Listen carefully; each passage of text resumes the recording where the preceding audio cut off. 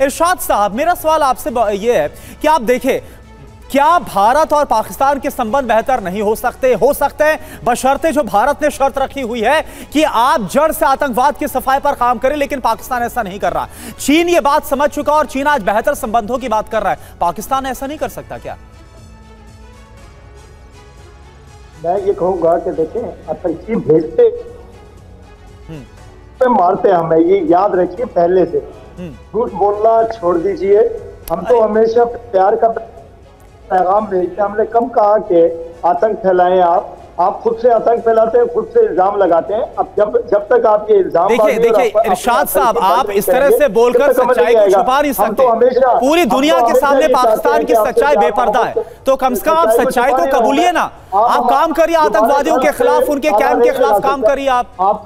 तो बेहतर संबंधों की बात फिर आप भी कर सकते हैं। हमने तो तो हम वही तो कर रहे हैं। हम पिछले पिछहत्तर साल से कर क्या रहे हैं? हम आतंकियों को ही मार रहे हैं आतंकियों नहीं आप आतंकियों को मार नहीं रहे हैं। आप उन्हें जगह देते हैं। आप उन्हें बड़े बड़े संस्थान बनाने देते हैं। आप उन्हें वहाँ पर लोगों को भर्ती करने देते हैं। आप उन्हें भारत के खिलाफ एजेंडा चलाने के लिए तो आतंकवाद बढ़ाने के लिए उनको आप समर्थन देते हैं। तो इसको तो स्वीकार करिए। नहीं आप बोलिए लेकिन आप झूठ नहीं बोलिए ना। आप हकीकत सामने रखिए। हम सच बोलते हैं हम सच बोलते हैं। देखिए जैसे कि मोदी जी भगवान बनने की कोशिश कर रहे ऐसा होगा नहीं। पहले भी कहा कि अपोजिशन इस दफ़ा मज़बूत आएगी और वो वो कुछ करवाएगी जो आपकी कौम हिंदुस्तान के लिए बेहतर होगा वो कुछ आप हिंदुस्तान की बेहतरी की चिंता मत करिए। हिंदुस्तान में लोकतंत्र है।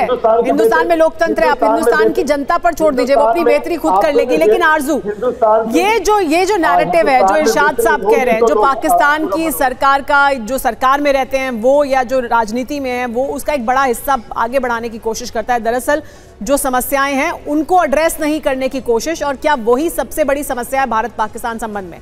कि पाकिस्तान में दरअसल उसको लेकर हकीकत पसंदी नहीं है कि आप स्वीकार ही नहीं कर रहे हैं कि आप कहाँ पर गलत हैं और उसे सुधारने की कोशिश करें। देखिए, जहाँ तक मेरा ख्याल है, पाकिस्तान अब कहीं कहीं पर, चीज़ों को एक्सेप्ट करने लगा है। जैसे आपने नवाज़ शरीफ साहब आपको देखा होगा कि उन्होंने 1999 में जो पीस एग्रीमेंट हुआ था वो पाकिस्तान की गलती थी कि हमने वायलेट किया था। और ये बात जो है ये कोई आम आदमी नहीं कह रहा है ये तीन बार का प्राइम मिनिस्टर जो पाकिस्तान के रह चुके हैं उन्होंने कही है।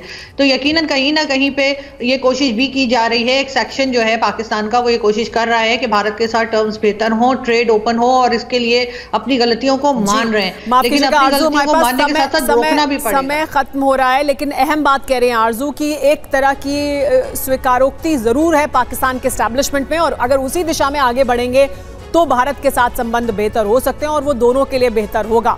चीन की तरफ़ से तो एक तरह का रुख में बदलाव ज़रूर दिखाई दे रहा है। ग्लोबल टाइम्स में जो खबर छपी है उसके तहत। आप सबका बहुत बहुत शुक्रिया हमारे साथ जुड़ने के लिए।